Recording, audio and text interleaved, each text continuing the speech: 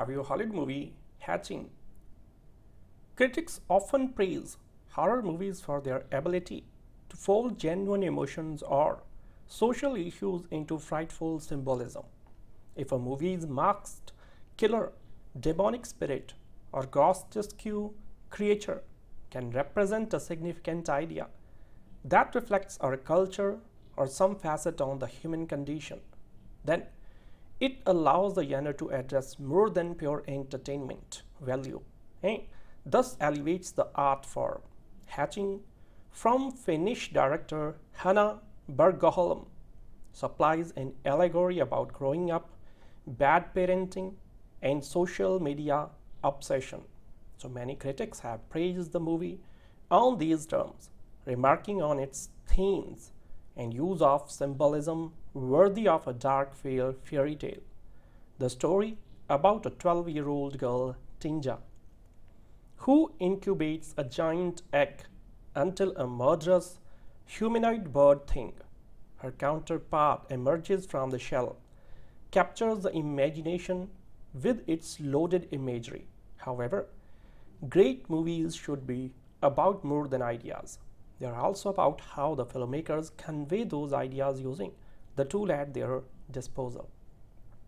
But in almost every way, Hatching looks and plays like a made-for-TV co-production between the Lifetime and CV channels, undercutting its otherwise inspired concept. So working on a budget of around 4 million euros, Bergholm delivers a movie that looks overlit and artificial, perhaps intentionally so.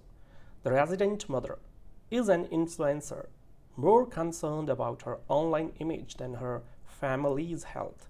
So the opening drone and smartphone shots of Hatching capture her so-called lovely everyday life, a manufactured social media identity. She crafts her everyday Finnish family's image with fox marble statues, flowering wallpaper and carefully selected wardrobes. Her meticulous attention to detail extends to her children's lives. Tinja, most of all, Tinja's obvious father, Jani Volanen, and brother Oiva Ollila go mostly ignored.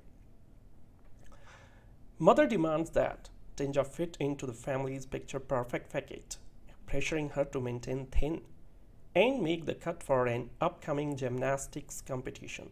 Of course, we eventually learn that mother has no self-esteem, maintains an open affair with another man because she blames her current family for her sadness and puts everyone through instead of facing her issues. So early in the film, a raven bursts through the window of their idyllic home spreading chows. So it's a bad omen of what's to come. That night, Tinja hears the bird, which should be dead after mother shockingly wrung its neck. Carving from the woods, so Tinja wanders into the dark to put the animal out of its misery and, when there, finds a large egg about the size of a fist. She brings it home and places it under her covers. So never mind how her parents don't notice the growing oval, so which it its final stage looks like a could contain a small person. So when the creature emerges, it's a fleshy, bird-like thing with patchy feathers with a twisted mouth, occasionally disturbing then often unintentionally funny, rendered unconvincingly with a mix of CGI and puppetry by creature effects supervisor Gustav Hoegen and special effects makeup supervisor Conor O'Sullivan. The scarcely credible creature shares a psychic bond with Tinja. So the monster attacks who whenever she resents or grows angry with someone. So gradually, the bird person looks more like Tinja every day until eventually they could be twins. So aside from the cold eyes and facial scars from where a beak used to meet. So along the way, Bergholm explores body horror and disgust when Tinja has to feed her beast by chewing up bird seeds and vomiting it into a bowl. So there is some also some suspense as Tinja tries to keep her secret named Ellie after an unnerving Finnish lullaby about an abandoned child. So if this all sounds weird and intriguing, you're right. But frankly, the bird alter ego proves less concerning than the behavior of mother, who turns every moment with her children into social media content of her followers. So by the final sacrificial scene, the whole par parable becomes a lesson in self-love, suggesting we should embrace the dark parts of our personalities as much as those deemed socially positive. So love yourself, whether you are a trophy-winning gymnast, a grotesque bored person, or somewhere in between, even if your life does make for good content. The screenplay by Ilja Rautsi imparts these rather broad life lessons with a heavy-handed dramatic effect and doesn't have enough fun with the genre in the process. Hatching is neither profoundly emotional nor particularly inspired as a creature feature, despite its family drama in Murderous Monster. On a technical level, most scenes look like a high-quality after-school special, complete with a gracelessness to the cutting and lensing that gives away the amateur production. Of course, even C and D grade productions can result in an entertaining experience given the proper application of tone and energy. Unfortunately, Hatching drags at 87 minutes, pulling us through familiar scenes from daytime television with a modest helping of B-movie flair along the way. So clearly inspired by the storybook quality of the Babadook Bergholm doesn't lean into that aspect enough and never quite pulls off the intention, intended balance of domestic realism and fantastic horrors. IFC Midnight picked up the movie at this year's Sundance Film Festival, and there is doubtlessly an audience for this fear. But the movie proves disappointing because you can see the unrealized potential in the concept just as you can see how often it falls short. So the appreciably nasty Finnish horror fantasy hatching sometimes feels like a short movie that was needlessly stretched out into a feature, a relatively brief feature. So it wasn't, but the high concept adult fairy tale about a 12 year old gymnast who discovers and raises a giant bird monster only comes to life in its in fits and starts, mainly thanks to its cast and crew's appreciable craftsmanship. So kudos to everybody who made the aforementioned bird monster look slimy and feral. Particularly, special effects makeup supervisor Conor O'Sullivan, creator, effect supervisor Gustav Huygens, and their respective teams. So also all due praise to the generally strong ensemble cast who, with the encouragement of director Hanna Bergholm, suggest a lot of sublimated tension through suppressed winces and performative smiles. Unfortunately, in hatching, the horrors of growing up and the more specifically of being raised by incentives, insensitive, repressed parents are otherwise not that disturbing or even memorable. Bergholm and screenwriter Ilja Rautsi deserve credit for effectively practicing the Roger Corman rule of teasing viewers with somebody good and exploitable. So every 10 minutes or less. But while your mileage will obviously vary, hatching never really congeals into something that's as unsettling as it is gross. So the main appeal of Tinja, a shy preteen, often seems to be that she is not her stifling mother 80. Or maybe Tinja is just unsure of how to live with her mother's many expectations.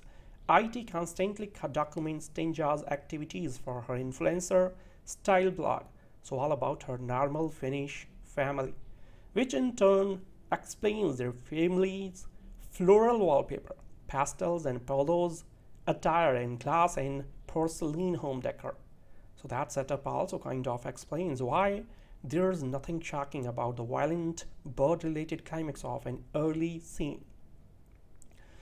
Tinja's mom snaps a blackbird's neck after it flies into Äiti's home and breaks some things as it struggles to escape. A good start for a horror movie, but not unexpected, given how plainly monstrous Ninja Tinja's mom tends to be. So Äiti has some humanizing qualities and she is also superficially oppressive to a very immediate fault. So Äiti wants her daughter to be to practice, practice, practice until she earns a slot at an upcoming gymnastic competition. But Tinja can't nail her dismounts and always seems to land on either her side or her knees. Tinja's mom also seems to have crushed the spirit of her dutiful and somewhat nervous husband Isa, so who takes orders and keeps up appearances but otherwise doesn't seem to matter. Also, Tinja finds a baby bird in the forest and raises it in secret. So it turns into a giant big monster and inspires a weirdly lackluster coming of age identity crisis.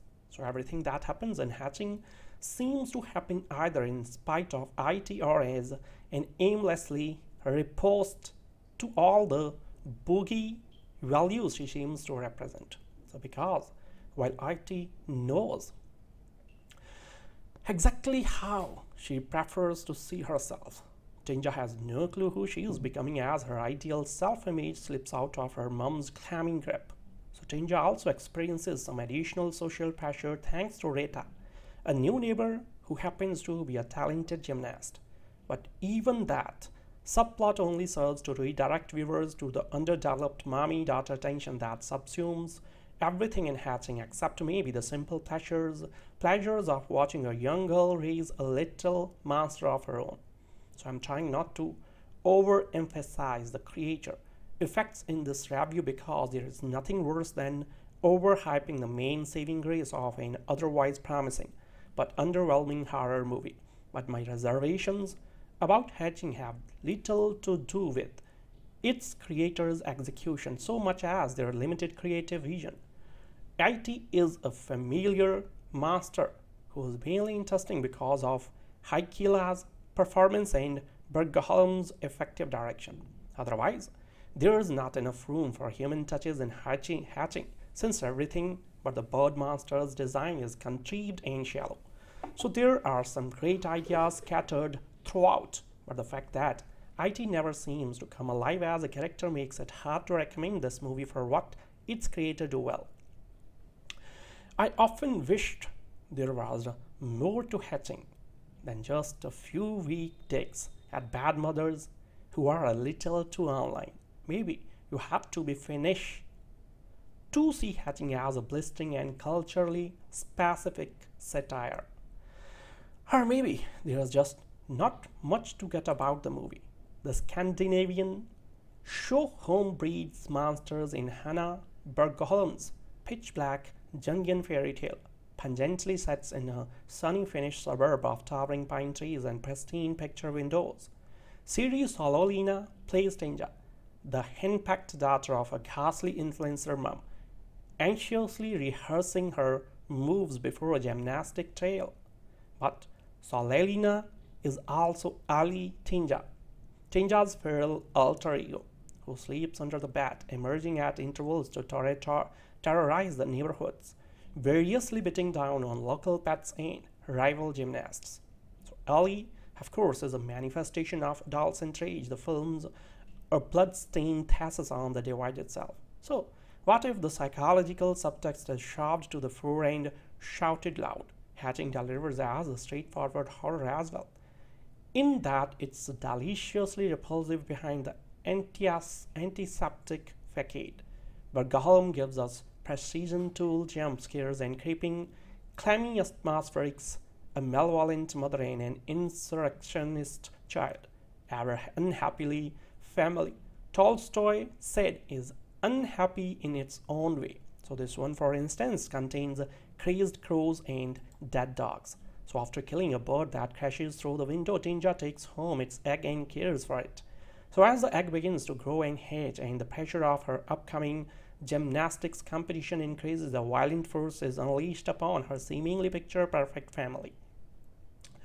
Hatching opens on a montage of home videos captured by selfie stick. So there's daughter Tinja practicing her gymnastics and tickling her dad. The whole family sat smiling on a sofa. So it's part of a video for mother's blog. Lovely everyday life, sadly. Despite this family's glossy facade, there is a darkness lurking underneath that will soon destroy them from the inside. So director Hanna Bergholm's Finnish feature debut is a tense, grotesque, weirdly touching addition to the canon of monsters coming of age movies. Tinja is a beautiful young gymnast who idolizes her mom and is doing her very best to make her proud in an upcoming competition. Clearly, struggling to keep it together in a home that values appearances over genuine affection. She becomes attached to the giant egg ballooning in size in her bedroom and to bird-like creature that eventually breaks free from it. So to say any more than about the thing that hatches would be to give too much away. But the way Bergholm's story develops Tinja's relationship with it is fascinating. So it's at once a mirror of the most primal parts of herself and a reflection of the brutal self-sacrificial requirements of motherhood. So that is a, this is a metaphor for the animalistic struggle of adolescence. Think turning red, but swap the cute panda for an avian nightmare and the desire to go to a pop concert from something far more murderous. Salolina, Solalinna is wondrous, a highly graceful screen presence. She manages to balance Tinja's anxieties and striving for approval with a steely sensibility and really excels at some Ringu-esque cartoonists, contortionists movement in the later half of the film. So Bergholm's direction is gripping, picking the perfect moment to hold back and let rip. And Hatching's overall mood is deliciously unsettling from the start, boosted throughout the body horror, floral fever dream production design and strange. The Shining twins like similarities between the core family members. So most impressive ain't the things that cuts through all the weirdness. This is a horror film with heart, a creepy, compelling creature feature packed with interesting themes and carried by an impressive lead performance. Cracking stuff. The opening act of the Finnish film Hatching may give horror fans some intense flashbacks to one of the best episodes of Charlie Brooker's Black Mirror. So the season 3 episode nosedives sears an aesthetic of pink and pastel perfection into viewers' brains as its characters navigate a world built around Instagram-style aspirational online living. Then it builds up a sense of dread around that kind of influencer artificiality and a distrust of the disguised labor and selfish motives involved in creating it. Hatching starts in a similar place with a blissfully perfect family of four curating their lives around carefully composed, tragically framed social media posts. But the film gets much darker than Black Mirror. It moves much faster and it reaches much bloodier ends. Hatching is yet another vicious satire of online culture in an age that's increasingly finding traction with them. So the 1980s were full of horror movies built around the wholesome Norman Rockwell image of suburban life and the seamy underbelly it sometimes disguises. But that brand of horror has mostly morphed into movies like Camp Spree and The Hater, warning about that under the surface of a social media identity and what happens when people use the internet to chase approval at any cost. So hatching couches that familiar warning into a metaphor of sim so simple and obvious that it almost seems ridiculous, but the extremity of what director Hanna Bergholm puts on screen strongly counterbalances any sense that the message is too facile. 12-year-old Tinja seems to have been raised as an accessory to her mother's video blog. Lovely everyday life. Tinja, her brother, younger brother Matthias, and their parents credibly solely as mother and father create their entire lives for an online audience. The mother frequently posts videos about her perfect family and their perfect home, and she's enlisted the whole family in upholding the exact illusions she wants to protect, project.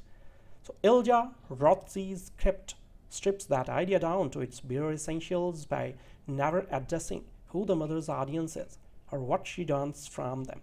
She might be performing for a vast profitable audience, or maybe she is trying to build a following in an influencer sphere that barely notices her. Possibly she is under obsessing over her own fantasy of an ideal life and trying to project that fantasy to others. Bergholm keeps the blog off the screen and its readership and their response after left to the audience's imagination. The abstraction is part of the film's horror and part of its insight. The followers rule the mother's life and through her, they rule Tinja. but they are a faceless, shapeless entity to Tinja. So they are invisible to the audience as well. So Tinja worships her mother and would do anything to please her. But shortly after an unsettling event lets her see her mother's ruthlessness. So Tinja brings an egg home from the forest and hides it in her room. As her mother's behavior becomes increasingly controlling and oppressive, the egg grows to enormous size and hatches a monstrosity that's clearly meant to reflect everything Tinja could be that her mother would disapprove of. Where she is slim and graceful, it's lumpy and misshapen. So where she is obedient and tractable, tractable, it's erratic and raging. So where she is primed and pretty, it's slimy and oozing and so forth. As Tinja tries to hide the creature nicknamed Alli after a creepy Finnish cradle song, the metaphor gets clearer and clearer. While Alli represents the ugly parts of Tinja that she fears and hides, she still consciously nurtures it, feeding it in secret and letting it grow and become more and more terrible. Even though she can see it's heading to terrible places, she keeps protecting it. She's afraid of it breaking her control, exposing her deception, and drawing her mother's wrath.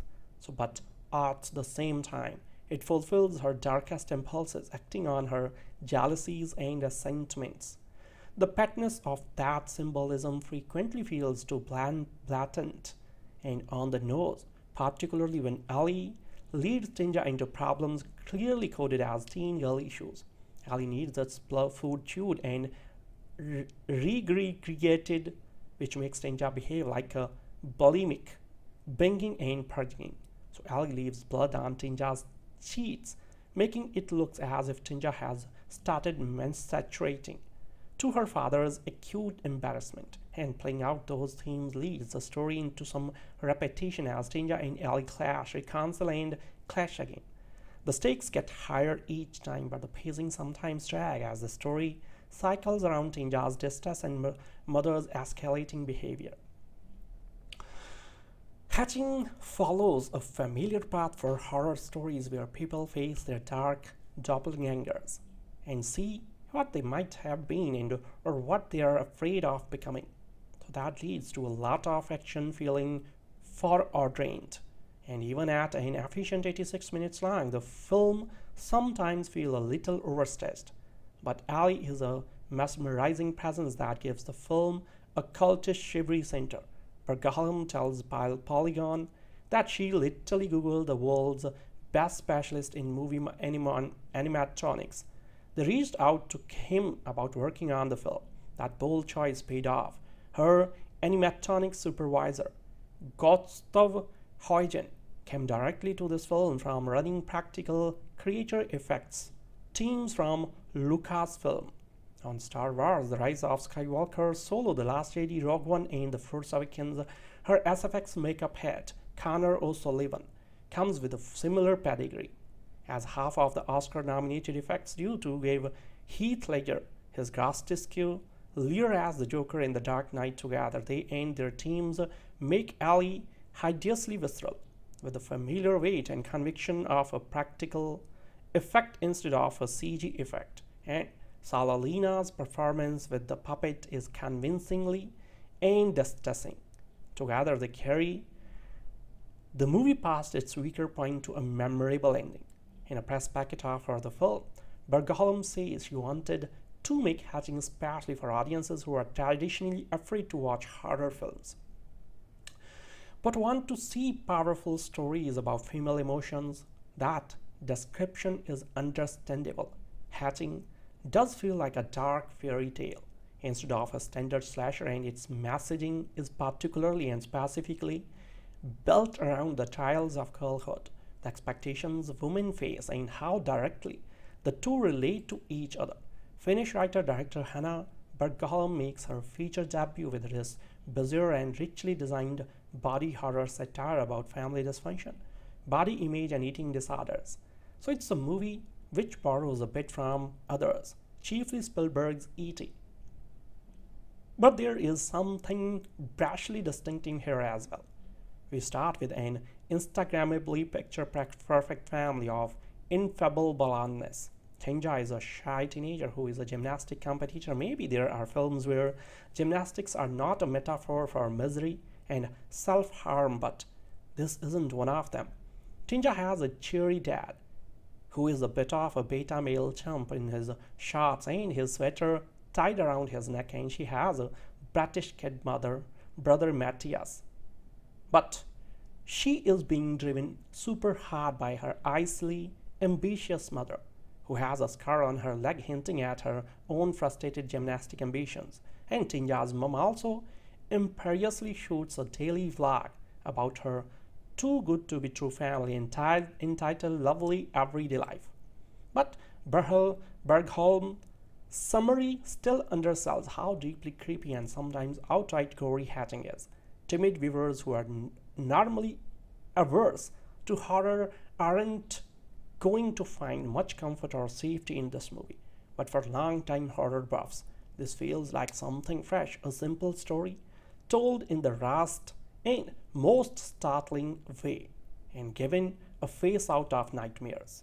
Critics often praise horror movies for their ability to fold genuine emotions or social issues into frightful symbolism.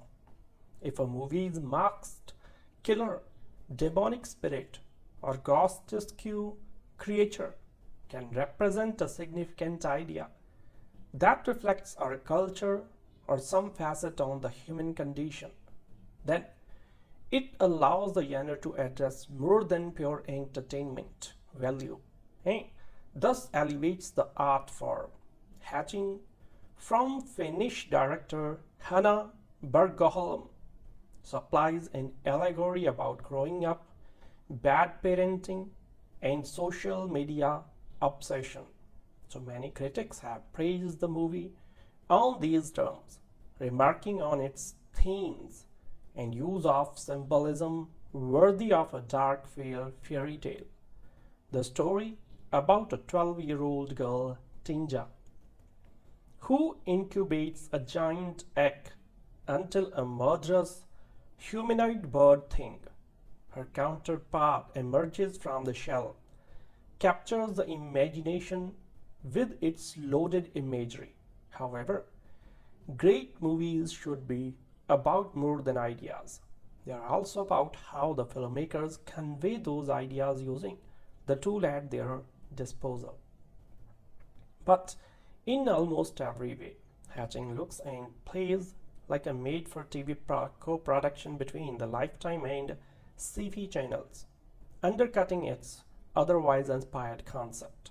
So working on a budget of around 4 million euros, Bergholm delivers a movie that looks overlit and artificial, perhaps intentionally so. The resident mother is an influencer more concerned about her online image than her family's health. So the opening drone and smartphone shots of Hatching capture her so-called lovely everyday life, a manufactured social media identity. She crafts her everyday Finnish family's image with fox marble statues flooring wallpaper and carefully selected wardrobes. Her meticulous attention to detail extends to her children's lives. Tinja, most of all, Tinja's obvious father, Jani Volanen, and brother Oiva Ollila, go mostly ignored. Mother demands that Tinja fit into the family's picture perfect facade pressuring her to maintain thin and make the cut for an upcoming gymnastics competition. Of course, we eventually learn that mother has no self-esteem, maintains an open affair with another man because she blames her current family for her sadness and puts everyone through instead of facing her issues. So early in the film, a raven bursts through the window of their idyllic home spreading chaos. So it's a bad omen of what's to come. That night, Tinja hears the bird, which should be dead after mother shockingly wrung its neck. Carving from the woods, so Tinja wanders into the dark to put the animal out of its misery and, when there, finds a large egg about the size of a fist. She brings it home and places it under her covers. So never mind how her parents don't notice the growing oval, so which it, its final stage looks like a could contain a small person. So when the creature emerges, it's a fleshy, bird-like thing with patchy feathers with a twisted mouth, occasionally disturbing, then often unintentionally funny, rendered unconvincingly with a mix of CGI and puppetry by creature effects supervisor Gustav Hoegen and special effects makeup supervisor Conor O'Sullivan. The scarcely credible creature shares a psychic bond with Tinja, so the monster attacks who whenever she resents or grows angry with someone. So gradually, the bird person looks more like Tinja every day until eventually they could be twins. So aside from the cold eyes and facial scars from where a beak used to me. So along the way, Bergholm explores body horror and disgust when Tinja has to feed her beast by chewing up bird seeds and vomiting it into a bowl. So there is some also some suspense as Tinja tries to keep her secret named Alli after an unnerving Finnish lullaby about an abandoned child. So if this all sound weird and intriguing, you're right. But frankly, the bird alter ego proves less concerning than the behavior of mother, who turns every moment with her children into social media content of her followers. So by the final sacrificial scene, the whole par parable becomes a lesson in self-love, suggesting we should embrace the dark parts of our personalities as much as those deemed socially positive. So love yourself, whether you are a trophy-winning gymnast, a grotesque bored person, or somewhere in between, even if your life does make for good content. The screenplay by Ilja Rautsi imparts these rather broad life lessons with a heavy-handed dramatic effect. Eh? Doesn't have enough fun with the genre in the process. Hatching is neither profoundly emotional nor particularly inspired as a creature feature, despite its family drama in Murderous Monster. On a technical level, most scenes look like a high quality after school special, complete with a gracelessness to the cutting and lensing that gives away the amateur production. Of course, even C and D grade productions can result in an entertaining experience given the proper application of tone and energy. Unfortunately, Hatching drags at 87 minutes, pulling us through familiar scenes from daytime television with a modest helping of B-movie flair along the way. So clearly inspired by the storybook quality of the Babadook. Bergholm doesn't lean into that aspect enough and never quite pulls off the intention, intended balance of domestic realism and fantastic horror. IFC Midnight picked up the movie at this year's Sundance Film Festival, and there is doubtlessly an audience for this fear. But the movie proves disappointing because you can see the unrealized potential in the concept just as you can see how often it falls short. So the appreciably nasty Finnish horror fantasy hatching sometimes feels like a short movie that was needlessly stretched out into a feature, a relatively brief feature. So it wasn't but the high concept adult fairy tale about a 12 year old gymnast who discovers and raises a giant bird monster only comes to life in its in fits and starts, mainly thanks to its cast and crew's appreciable craftsmanship. So kudos to everybody who made the aforementioned bird monster look slimy and feral, particularly special effects makeup supervisor Conor O'Sullivan, creator effect supervisor Gustav Hoegen, and their respective teams. So also all due praise to the generally strong ensemble cast who, with the encouragement of director Hanna Bergholm, suggest a lot of sublimated tension through suppressed winces and performative smiles. Unfortunately, in Hatching, the horrors of growing up and the more specifically of being raised by incentives, insensitive, repressed parents are otherwise not that disturbing or even memorable. Bergholm and screenwriter Ilja Rautsi deserve credit for effectively practicing the Roger Corman rule of teasing viewers with somebody good and exploitable. So every 10 minutes or less. But while your mileage will obviously vary, hatching never really congeals into something that's as unsettling as it is gross. So the main appeal of Tinja a shy preteen often seems to be that she is not her stifling mother Äiti. Or maybe Tinja is just unsure of how to live with her mother's many expectations. Äiti constantly documents Tinja's activities for her influencer style blog, so all about her normal Finnish family, which in turn explains their family's floral wallpaper, pastels and polos, attire and glass and porcelain home decor. So that setup also kind of explains why there's nothing shocking about the violent bird-related climax of an early scene. Tinja's mom snaps a blackbird's neck after it flies into Äiti's home and breaks some things as it struggles to escape. A good start for a horror movie, but not unexpected given how plainly monstrous Ninja Tinja's mom tends to be. So Äiti has some humanizing qualities and she is also superficially oppressive to a very immediate fault.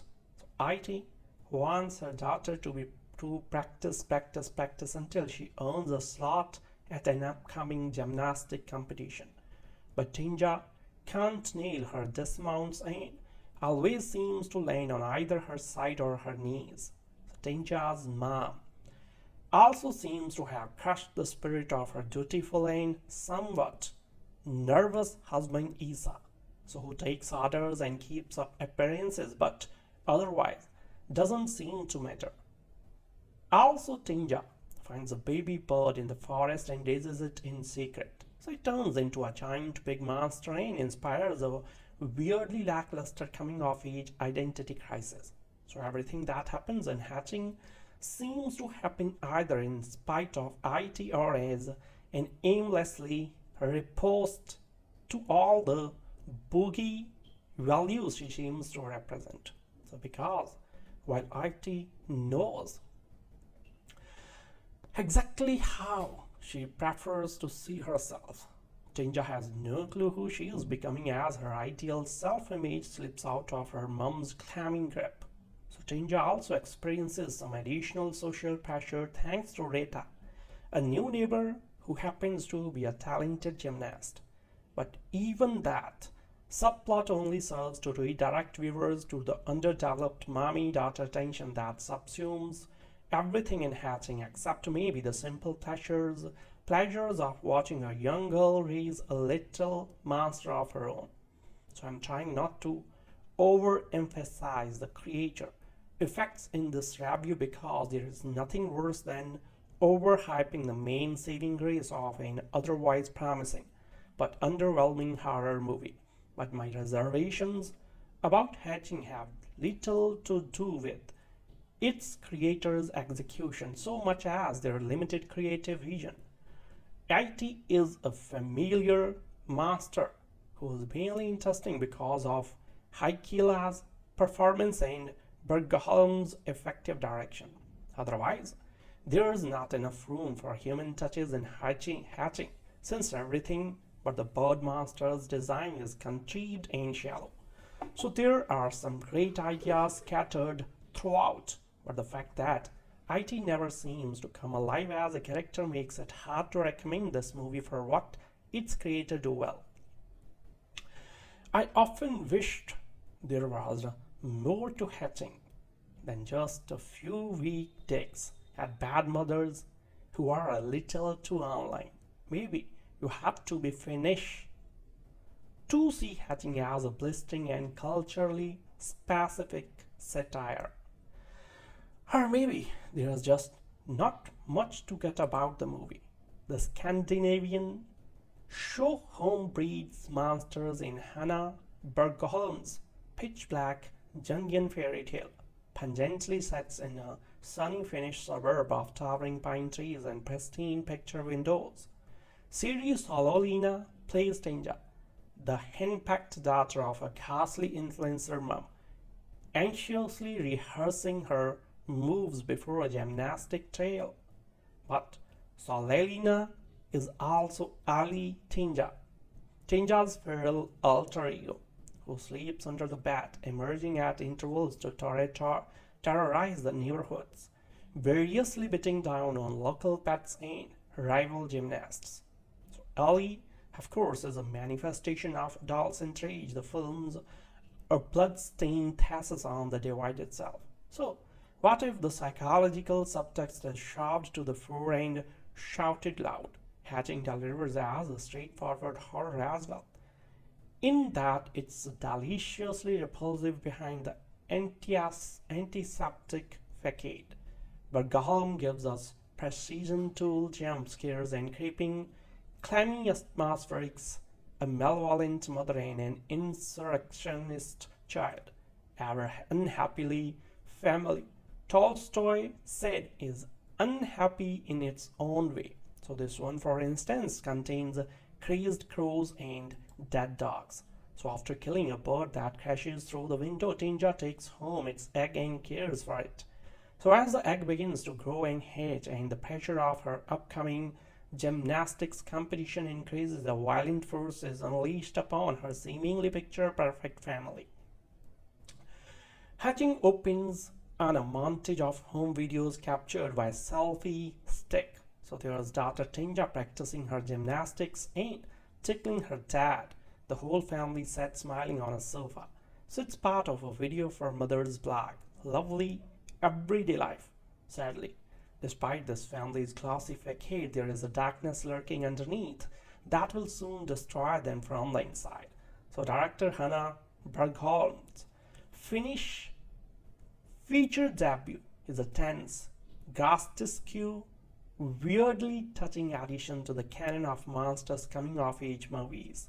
Tinja is a beautiful young gymnast who idolizes her mom and is doing her very best to make her proud in an upcoming competition. Clearly, struggling to keep it together in a home that values appearances over genuine affection. She becomes attached to the giant egg ballooning in size in her bedroom and to bird-like creature that eventually breaks free from it. So to say any more than about the thing that hatches would be to give too much away. But the way Bergholm's story develops Tinja's relationship with it is fascinating. So it's at once a mirror of the most primal parts of herself and a reflection of the brutal self-sacrificial requirements of motherhood. So that is a, this is a metaphor for the animalistic struggle of adolescence. Think turning red, but swap the cute panda for an avian nightmare and the desire to go to a pop concert from something far more murderous. Salolina, Solalinna is wondrous, a highly graceful screen presence. She manages to balance Tinja's anxieties and striving for approval with a steely sensibility and really excels at some Ringo-esque cartoonists contortionists movement in the later half of the film. So Bergholm's direction is gripping, picking the perfect moment to hold back and let rip. And Hatching's overall mood is deliciously unsettling from the start, boosted throughout the body horror, floral fever dream production design and strange. The shining twins like similarities between the core family members. So most impressive in the things that cuts through all the weirdness, this is a horror film with heart, a creepy, compelling creature feature packed with interesting themes and carried by an impressive lead performance. Cracking stuff. The opening act of the Finnish film Hatching may give horror fans some intense flashbacks to one of the best episodes of Charlie Brooker's Black Mirror. So the season 3 episode nosedives years an aesthetic of pink and pastel perfection into viewers' brains as its characters navigate a world built around Instagram style aspirational online living. Then it builds up a sense of dread around that kind of influencer artificiality and a distrust of the disguised labor and selfish motives involved in creating it. Hatching starts in a similar place with a blissfully perfect family of four curating their lives around carefully composed, tragically framed social media posts. But the film gets much darker than Black Mirror. It moves much faster and it reaches much bloodier ends. Hatching is yet another vicious satire of online culture in an age that's increasingly finding traction with them. So the 1980s were full of horror movies built around the wholesome Norman Rockwell image of suburban life and the seamy underbelly it sometimes disguises. But that brand of horror has mostly morphed into movies like Cam Spree and The Hater, warning about that under the surface of a social media identity and what happens when people use the internet to chase approval at any cost. So hatching couches that familiar warning into a metaphor of sim so simple and obvious that it almost seems ridiculous. But the extremity of what director Hanna Bergholm puts on screen strongly counterbalances any sense that the message is too facile. 12-year-old Tinja seems to have been raised as an accessory to her mother's video blog. Lovely everyday life. Tinja, her brother, younger brother Matthias, and their parents, credibly solely as mother and father, create their entire lives for an online audience. The mother frequently posts videos about her perfect family and their perfect home, and she's enlisted the whole family in upholding the exact illusions she wants to protect, project. So Ilja Rautsi's script strips that idea down to its bare essentials by never addressing who the mother's audience is or what she wants from them.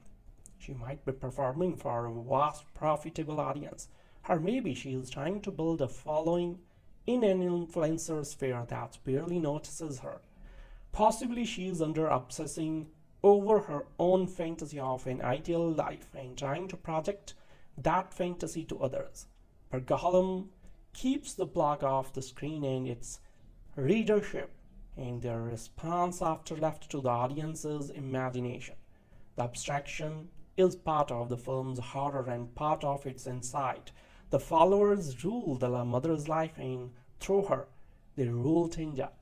But they are a faceless, shapeless entity to Tinja.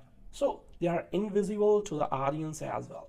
So Tinja worships her mother and would do anything to please her. But shortly after an unsettling event lets her see her mother's ruthlessness. So Tinja brings an egg home from the forest and hides it in her room. As her mother's behavior becomes increasingly controlling and oppressive, the egg grows to enormous size and hatches a monstrosity that's clearly meant to reflect everything Tinja could be that her mother would disapprove of. Where she is slim and graceful, it's lumpy and misshapen. So where she is uh, obedient and tractable, tractable, it's erratic and raging. So where she is print and pretty, it's slimy and oozing and so forth. As Tinja tries to hide the creature nicknamed Alli after her creepy Finnish cradle song, the metaphor gets clearer and clearer. While Alli represents the ugly parts of Tinja that she fears and hides, she still consciously nurtures it, feeding it in secret and letting it grow and become more and more terrible. Even though she can see it's heading to terrible places, she keeps protecting it. She's afraid of it breaking her control, exposing her deception and drawing her mother's wrath. So, but at the same time, it fulfills her darkest impulses, acting on her jealousies and resentments. The petness of that symbolism frequently feels too bland, blatant and on the nose, particularly when Alli leads Tinja into problems clearly coded as teen girl issues. Alli needs its food chewed and recreated, which makes Tinja behave like a bulimic, banging and purging. So Alli leaves blood on Tinja's cheeks, making it look as if Tinja has started menstruating. To her father's acute embarrassment, and playing out those themes leads the story into some repetition as Tinja and Alli clash, reconcile, and clash again. The stakes get higher each time, but the pacing sometimes drag as the story cycles around Tinja's distress and mother's escalating behavior. Hatching follows a familiar path for horror stories where people face their dark doppelgangers and see what they might have been and or what they are afraid of becoming. So that leads to a lot of action feeling foreordained. And even at an efficient 86 minutes long, the film sometimes feels a little overstretched. But Alli is a mesmerizing presence that gives the film a cultish shivery center. Bergholm tells Polygon that she literally googled the world's best specialist in movie animon, animatronics. They reached out to him about working on the film. That bold choice paid off. Her animatronics supervisor, Gustav Hoegen, came directly to this film from running practical creature effects teams from Lucasfilm on Star Wars, The Rise of Skywalker, Solo, The Last Jedi, Rogue One, and The Force Awakens, her SFX makeup head, Conor O'Sullivan, comes with a similar pedigree, as half of the Oscar-nominated effects due to gave Heath Ledger his ghastly skill, Lear as the Joker in The Dark Knight together. They and their teams make Alli hideously visceral, with the familiar weight and conviction of a practical effect instead of a CG effect. And Solalinna's performance with the puppet is convincingly and distressing. Together they carry the movie past its weaker point to a memorable ending. In a press packet for the film, Bergholm says she wanted to make Hatching especially for audiences who are traditionally afraid to watch horror films but want to see powerful stories about female emotions, that description is understandable. Hatching does feel like a dark fairy tale instead of a standard slasher and its messaging is particularly and specifically built around the trials of girlhood, the expectations women face and how directly the two relate to each other. Finnish writer-director Hanna Bergholm makes her feature debut with this bizarre and richly designed body horror satire about family dysfunction, body image and eating disorders. So it's a movie which borrows a bit from others, chiefly Spielberg's E.T. But there is something brashly distinct in here as well. We start with an Instagrammably picture perfect family of ineffable blondness Tinja is a shy teenager who is a gymnastic competitor. Maybe there are films where gymnastics are not a metaphor for misery and self-harm, but this isn't one of them. Tinja has a cheery dad who is a bit of a beta male chump in his shorts and his sweater tied around his neck and she has a British kid mother, brother Matthias. But she is being driven super hard by her icily ambitious mother, who has a scar on her leg hinting at her own frustrated gymnastic ambitions. And Tinja's mom also imperiously shoots a daily vlog about her too good to be true family entitled Lovely Everyday Life. But Bergholm summary still undersells how deeply creepy and sometimes outright gory Hatching is. Timid viewers who are normally averse to horror aren't going to find much comfort or safety in this movie. But for long-time horror buffs, this feels like something fresh, a simple story told in the rawest and most startling way and given a face out of nightmares. Critics often praise horror movies for their ability to fold genuine emotions or social issues into frightful symbolism. If a movie's masked killer, demonic spirit, or grotesque creature can represent a significant idea that reflects our culture or some facet on the human condition, then it allows the genre to address more than pure entertainment value and thus elevates the art form hatching from Finnish director Hanna Bergholm supplies an allegory about growing up, bad parenting, and social media obsession. So many critics have praised the movie on these terms, remarking on its themes and use of symbolism worthy of a dark fairy tale. The story about a 12-year-old girl, Tinja, who incubates a giant egg until a murderous humanoid bird thing, her counterpart emerges from the shell, captures the imagination with its loaded imagery. However, great movies should be about more than ideas. They are also about how the filmmakers convey those ideas using the tool at their disposal. But in almost every way, Hatching looks and plays like a made-for-TV co-production between the Lifetime and CV channels, undercutting its otherwise inspired concept. So working on a budget of around 4 million euros, Bergholm delivers a movie that looks overlit and artificial, perhaps intentionally so. The resident mother is an influencer, more concerned about her online image than her family's health. So the opening drone and smartphone shots of Hatching capture her so-called lovely everyday life, a manufactured social media identity. She crafts her everyday Finnish family's image with fox marble statues, flooring wallpaper and carefully selected wardrobes. Her meticulous attention to detail extends to her children's lives. Tinja, most of all, Tinja's obvious father, Jani Volanen, and brother Oiva Ollila, go mostly ignored. Mother demands that Tinja fit into the family's picture-perfect facade, pressuring her to maintain thin and make the cut for an upcoming gymnastics competition.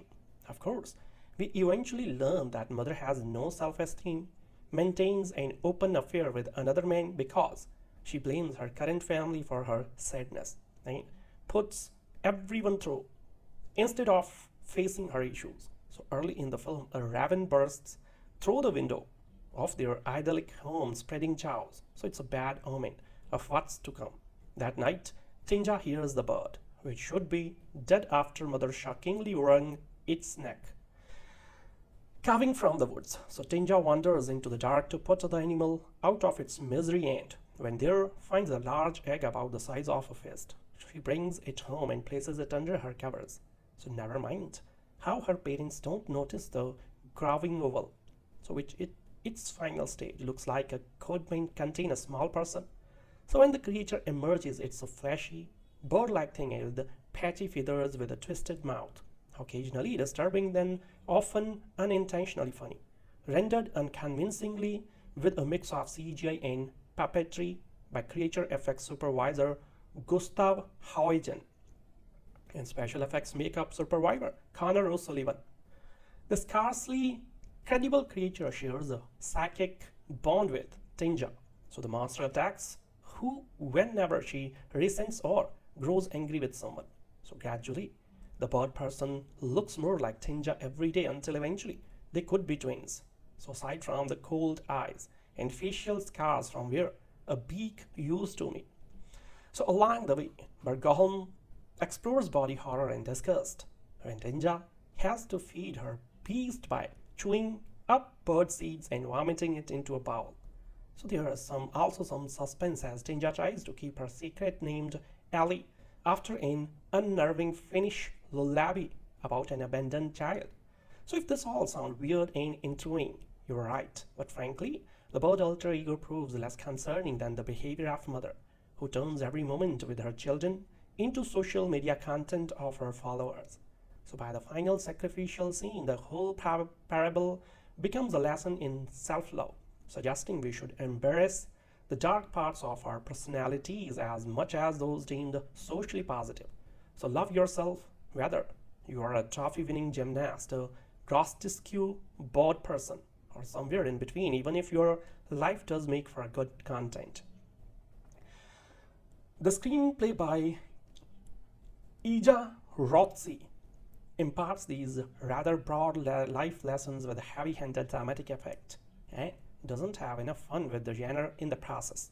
Hatching is neither profoundly emotional nor particularly inspired as a creature feature, despite its family drama in Murderous Monster. On a technical level, most scenes look like a high-quality after-school special, complete with a gracelessness to the cutting and lensing that gives away the amateur production. Of course, even C and D grade productions can result in an entertaining experience given the proper application of tone and energy. Unfortunately, Hatching drags at 87 minutes, pulling us through familiar scenes from daytime television with a modest helping of B-movie flair along the way. So clearly inspired by the storybook quality of the Babadook. Bergholm doesn't lean into that aspect enough and never quite pulls off the intended balance of domestic realism and fantastic horrors. IFC Midnight picked up the movie at this year's Sundance Film Festival, and there is doubtlessly an audience for this fear. But the movie proves disappointing because you can see the unrealized potential in the concept just as you can see how often it falls short. So the appreciably nasty Finnish horror fantasy hatching sometimes feels like a short movie that was needlessly stretched out into a feature, a relatively brief feature. So it wasn't, but the high concept adult fairy tale about a 12 year old gymnast who discovers and raises a giant bird monster only comes to life in its in fits and starts, mainly thanks to its cast and crew's appreciable craftsmanship. So kudos to everybody who made the aforementioned bird monster look slimy and feral. Particularly, special effects makeup supervisor Conor O'Sullivan, creator effects supervisor Gustav Hoegen, and their respective teams. So also all due praise to the generally strong ensemble cast who, with the encouragement of director Hanna Bergholm, suggest a lot of sublimated tension through suppressed winces and performative smiles. Unfortunately, in Hatching, the horrors of growing up and the more specifically of being raised by incentives, insensitive, repressed parents are otherwise not that disturbing or even memorable. Bergholm and screenwriter Ilja Rautsi deserve credit for effectively practicing the Roger Corman rule of teasing viewers with somebody good and exploitable. So every 10 minutes or less. But while your mileage will obviously vary, hatching never really congeals into something that's as unsettling as it is gross. So the main appeal of Tinja, a shy preteen, often seems to be that she is not her stifling mother Äiti. Or maybe Tinja is just unsure of how to live with her mother's many expectations. Äiti constantly documents Tinja's activities for her influencer style blog, so all about her normal Finnish family, which in turn explains their family's floral wallpaper, pastels and polos, attire and glass and porcelain home decor. So that setup also kind of explains why there's nothing shocking about the violent bird-related climax of an early scene. Tinja's mom snaps a blackbird's neck after it flies into Äiti's home and breaks some things as it struggles to escape. A good start for a horror movie, but not unexpected, given how plainly monstrous Ninja Tinja's mom tends to be. So Äiti has some humanizing qualities and she is also superficially oppressive to a very immediate fault. So Äiti wants her daughter to be to practice, practice, practice until she earns a slot at an upcoming gymnastic competition. But Tinja can't nail her dismounts and always seems to land on either her side or her knees. Tinja's mom also seems to have crushed the spirit of her dutiful and somewhat nervous husband Isa. so who takes orders and keeps up appearances but otherwise doesn't seem to matter.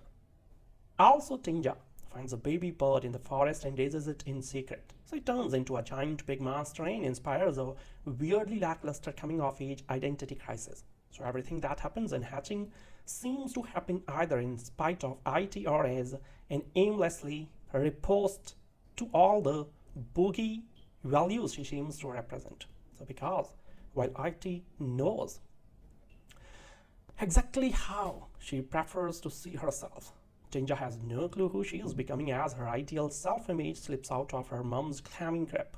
So Tinja also experiences some additional social pressure thanks to Reetta, a new neighbor who happens to be a talented gymnast. But even that subplot only serves to redirect viewers to the underdeveloped mommy-daughter tension that subsumes everything in hatching except maybe the simple pleasures pleasures of watching a young girl raise a little master of her own. So I'm trying not to overemphasize the creature effects in this review because there is nothing worse than overhyping the main saving grace of an otherwise promising but underwhelming horror movie. But my reservations about Hatching have little to do with its creator's execution so much as their limited creative vision. Äiti is a familiar master who is mainly interesting because of Heikkilä's performance and Bergholm's effective direction. Otherwise, there is not enough room for human touches and hatching, hatching since everything but the Birdmaster's design is conceived in shallow. So there are some great ideas scattered throughout, but the fact that Äiti never seems to come alive as a character makes it hard to recommend this movie for what its creator do well. I often wished there was more to hatching than just a few weak takes at bad mothers who are a little too online. Maybe you have to be finished 2C hatching as a blistering and culturally specific satire. Or maybe there's just not much to get about the movie. The Scandinavian show home breeds monsters in Hanna Bergholm's pitch black Jungian fairy tale, pungently sets in a sunny Finnish suburb of towering pine trees and pristine picture windows. Siiri Solalinna plays Tinja, the henpecked daughter of a ghastly influencer mom anxiously rehearsing her moves before a gymnastic trail. But Solalinna is also Alli Tinja, Tinja's feral alter ego, who sleeps under the bed, emerging at intervals to ter terrorize the neighborhoods, variously beating down on local pets and rival gymnasts. So Alli, of course, is a manifestation of adolescent rage. The film's a blood-stained thesis on the divide itself. So, what if the psychological subtext is shoved to the fore and shouted loud? Hatching delivers as a straightforward horror as well.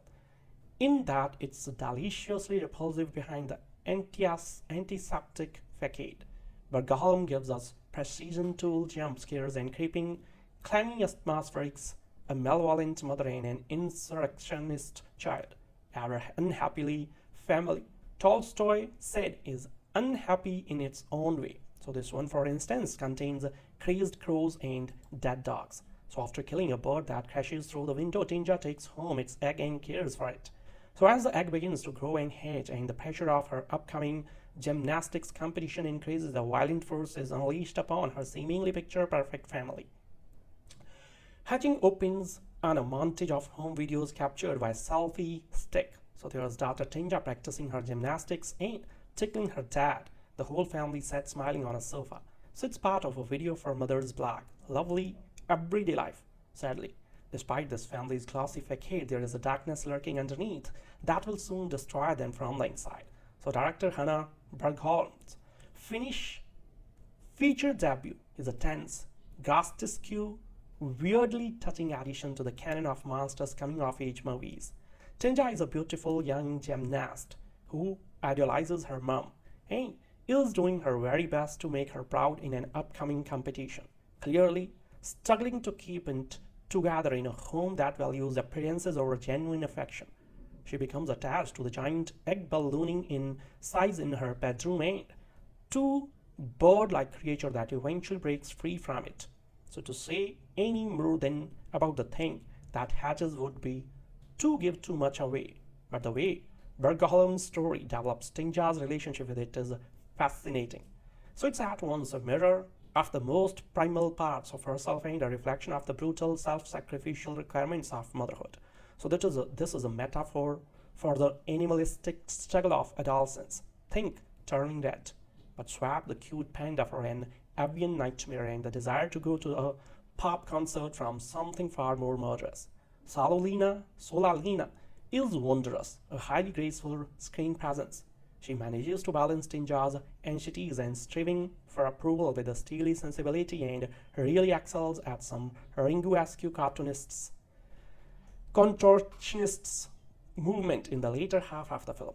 So Bergholm's direction is gripping, picking the perfect moment to hold back and let rip. And Hatching's overall mood is deliciously unsettling from the start, boosted throughout the body horror, floral fever dream production design and strange. The Shining twins like similarities between the core family members. So most impressive and the things that cuts through all the weirdness. This is a horror film with heart, a creepy, compelling creature feature packed with interesting themes and carried by an impressive lead performance. Cracking stuff. The opening act of the Finnish film Hatching may give horror fans some intense flashbacks to one of the best episodes of Charlie Brooker's Black Mirror. So the season 3 episode nosedives sears an aesthetic of pink and pastel perfection into viewers' brains as its characters navigate a world built around Instagram-style aspirational online living. Then it builds up a sense of dread around that kind of influencer artificiality and a distrust of the disguised labor and selfish motives involved in creating it. Hatching starts in a similar place with a blissfully perfect family of four curating their lives around carefully composed, tragically framed social media posts. But the film gets much darker than Black Mirror. It moves much faster and it reaches much bloodier ends. Hatching is yet another vicious satire of online culture in an age that's increasingly finding traction with them. So the 1980s were full of horror movies built around the wholesome Norman Rockwell image of suburban life and the seamy underbelly it sometimes disguises. But that brand of horror has mostly morphed into movies like Cam Spree and The Hater, warning about that under the surface of a social media identity and what happens when people use the internet to chase approval at any cost. So Hatching couches that familiar warning into a metaphor of sim so simple and obvious that it almost seems ridiculous. But the extremity of what director Hanna Bergholm puts on screen strongly counterbalances any sense that the message is too facile. 12-year-old Tinja seems to have been raised as an accessory to her mother's video blog. Lovely everyday life. Tinja, her brother, younger brother Matthias, and their parents credibly solely as mother and father create their entire lives for an online audience. The mother frequently posts videos about her perfect family and their perfect home, and she's enlisted the whole family in upholding the exact illusions she wants to project. So Ilja Rautsi's script strips that idea down to its bare essentials by never addressing who the mother's audience is or what she wants from them. She might be performing for a vast profitable audience, or maybe she is trying to build a following in an influencer sphere that barely notices her. Possibly she is under obsessing over her own fantasy of an ideal life and trying to project that fantasy to others. Bergholm keeps the plug off the screen and its readership and their response after left to the audience's imagination. The abstraction is part of the film's horror and part of its insight. The followers rule the La mother's life and through her, they rule Tinja. But they are a faceless, shapeless entity to Tinja. So they are invisible to the audience as well. So Tinja worships her mother and would do anything to please her. But shortly after an unsettling event lets her see her mother's ruthlessness. So Tinja brings an egg home from the forest and hides it in her room. As her mother's behavior becomes increasingly controlling and oppressive, the egg grows to enormous size, and hatches a monstrosity that's clearly meant to reflect everything Tinja could be that her mother would disapprove of. Where she is slim and graceful, it's lumpy and misshapen. So where she is obedient and tractable, tractable, it's erratic and raging. So where she is print and pretty, it's slimy and oozing and so forth. As Tinja tries to hide the creature nicknamed Alli after a creepy Finnish cradle song, the metaphor gets clearer and clearer. While Alli represents the ugly parts of Tinja that she fears and hides. She still consciously nurtures it, feeding it in secret and letting it grow and become more and more terrible. Even though she can see it's heading to terrible places, she keeps protecting it. She's afraid of it breaking her control, exposing her deception, and drawing her mother's wrath. So, but at the same time, it fulfills her darkest impulses, acting on her jealousies and resentments. The petness of that symbolism frequently feels too blatant and on the nose, particularly when Ellie leads Tinja into problems clearly coded as teen girl issues. Ellie needs food chewed and recreated, which makes Tinja behave like a bulimic, banging and purging. So Alli leaves blood on Tinja's sheets, making it look as if Tinja has started menstruating to her father's acute embarrassment, and playing out those themes leads the story into some repetition as Tinja and Alli clash, reconcile, and clash again. The stakes get higher each time, but the pacing sometimes drag as the story cycles around Tinja's distress and mother's escalating behavior. Hatching follows a familiar path for horror stories where people face their dark doppelgangers and see what they might have been and or what they are afraid of becoming So that leads to a lot of action feeling foreordained. And even at an efficient 86 minutes long, the film sometimes feels a little overstretched. But Alli is a mesmerizing presence that gives the film a cultish shivery center. Bergholm tells Polygon that she literally googled the world's best specialist in movie anim animatronics. They reached out to him about working on the film. That bold choice paid off. Her animatronics supervisor, Gustav Hoegens came directly to this film from running practical creature effects teams from Lucasfilm. On Star Wars, The Rise of Skywalker, Solo, The Last Jedi, Rogue One, and The Force Awakens, her SFX makeup head, Conor O'Sullivan, comes with a similar pedigree, as half of the Oscar-nominated effects due to gave Heath Ledger his Grotesque Lear as the Joker in The Dark Knight together. They and their teams make Ellie hideously visceral, with the familiar weight and conviction of a practical effect instead of a CG effect. And Solalinna's performance with the puppet is convincingly and distressing. Together they carry the movie past its weaker point to a memorable ending. In a press packet for the film, Bergholm says she wanted to make Hatching especially for audiences who are traditionally afraid to watch horror films, but want to see powerful stories about female emotions, that description is understandable. Hatching does feel like a dark fairy tale instead of a standard slasher and its messaging is particularly and specifically built around the trials of girlhood, the expectations women face and how directly the two relate to each other. Finnish writer-director Hanna Bergholm makes her feature debut with this bizarre and richly designed body horror satire about family dysfunction, body image and eating disorders. So it's a movie which borrows a bit from others, chiefly Spielberg's E.T. But there is something brashly distinctive here as well. We start with an Instagrammably picture-perfect family of ineffable blondness. Tinja is a shy teenager who is a gymnastic competitor. Maybe there are films where gymnastics are not a metaphor for misery and self-harm, but this isn't one of them. Tinja has a cheery dad who is a bit of a beta male chump in his shorts and his sweater tied around his neck, and she has a British kid mother, brother Matthias. But she is being driven super hard by her icily ambitious mother, who has a scar on her leg hinting at her own frustrated gymnastic ambitions. And Tinja's mom also imperiously shoots a daily vlog about her too good to be true family entitled Lovely Everyday Life. But Berhel, Bergholm summary still undersells how deeply creepy and sometimes outright gory Hatching is. Timid viewers who are normally averse to horror aren't going to find much comfort or safety in this movie.